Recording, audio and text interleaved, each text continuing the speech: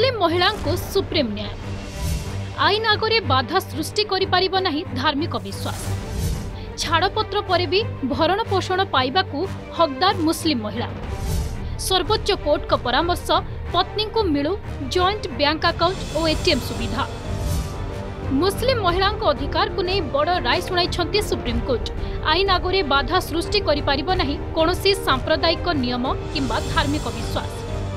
ছাড়পত্র পরে বি আইন দৃষ্টি স্বামী। পত্নীর ভরণ পোষণ দায়িত্ব নেওয়া রায় শুনাই সুপ্রিমকোর্ট ছাড়পত্র পরে পত্নী ভরণ পোষণ দেওয়া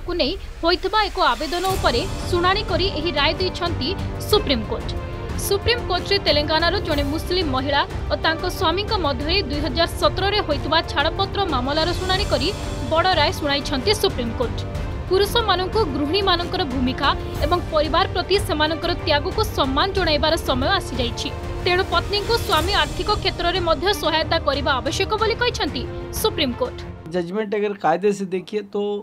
ये सभी के लिए अप्लाई होता है मुस्लिम हो हिंदू हो कोई भी कोई भी रिलीजन का हो उस पर अप्लाई होता है एक चीज़ दूसरी चीज़ ये कि सिर्फ डिवोर्स वोमेन के लिए नहीं है बल्कि जो लोग साथ रह रहे हैं यानी सेपरेशन भी नहीं जिनका है, जो दोनों हैप्पीली साथ रह रहे हैं, उनके लिए भी ये जजमेंट अप्लाई होगा। कुछ ऐसे ऑब्जर्वेशंस हुए हैं और ये हम लोग सोच नहीं सकते थे कि इतना बड़ा, इतना अच्छा जजमेंट आएगा और एक पूरे केस को एक नया डायमेंशन दे दिया है। ये फैसला ऐतिहासिक है और तमाम मुस्लिम महिलाओं के लिए एक राहत की एक गहरी सांस है। आप सोचिए, ये फैसले के तहत अब कोई भी तलाकशुदा मुस्लिम महिला गुजारा भत्ता के लिए, बाकायदा, जो सीआरपीसी की धारा 125 है, उसके तहत वो मेंटेनेंस अलाउंस की मांग कर सकती है, जिसकी पूर्ति अनिवार्य होगी। यानी कि जो जो हक हर एक महिला को देश के संविधान ने दिए हैं, वही सारे हक, वही सारे प्रावधान का इस्तेमाल वो तलाकशुदा महिला भी कर सकती है। ସିଆର୍ପିସିର ଧାରା ଶହେ ପଚିଶ ଅନୁସାରେ ତେଲେଙ୍ଗାନାର ଜଣେ ମହିଳା ତାଙ୍କ ସ୍ୱାମୀ ମହମ୍ମଦ ଅବଦୁଲ ମସାଦଙ୍କଠାରୁ ଭରଣ ପୋଷଣ ଦାବି କରିଥିଲେ। ତେଲେଙ୍ଗାନାର ଏକ ପରିବାର ଅଦାଲତ ଏହି ଆବେଦନ ଉପରେ ବିଚାର କରି ଭରଣ ପୋଷଣ ବାବଦକୁ ମାସିକ କୋଡ଼ିଏ ହଜାର ଟଙ୍କା ଦେବାକୁ ମହମ୍ମଦଙ୍କୁ ନିର୍ଦ୍ଦେଶ ଦେଇଥିଲେ।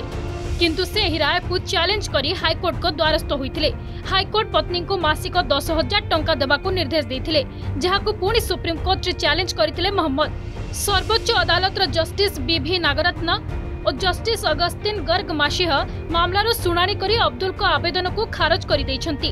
ସିଆର୍ପିସିର ଧାରା ଶହେ ପଚିଶ ଅନୁଯାୟୀ ସମସ୍ତ ଧର୍ମର ମହିଳା ତାଙ୍କ ସ୍ୱାମୀଙ୍କ ବିରୋଧରେ ରକ୍ଷଣାବେକ୍ଷଣ ମାମଲା दायर करें बोली सुप्रीम कोर्ट कहते देश में जब से नरेंद्र मोदी जी की सरकार आई है तो चाहे वो तीन तलाक के कानून को लाना हो और तीन तलाक समाप्त करना हो चाहे वो यूसीसी की तरफ बढ़ना हो चाहे वो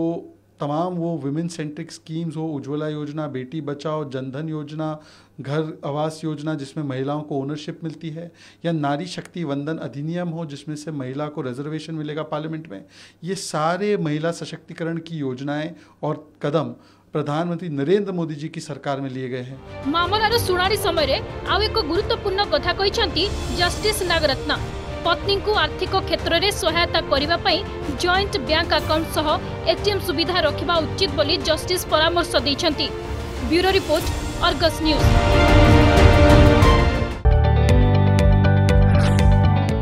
जदि आपण को आम भिडी भल लगा तेब चैनल को लाइक शेयर और सब्सक्राइब करने को जमा भी बुलां नहीं।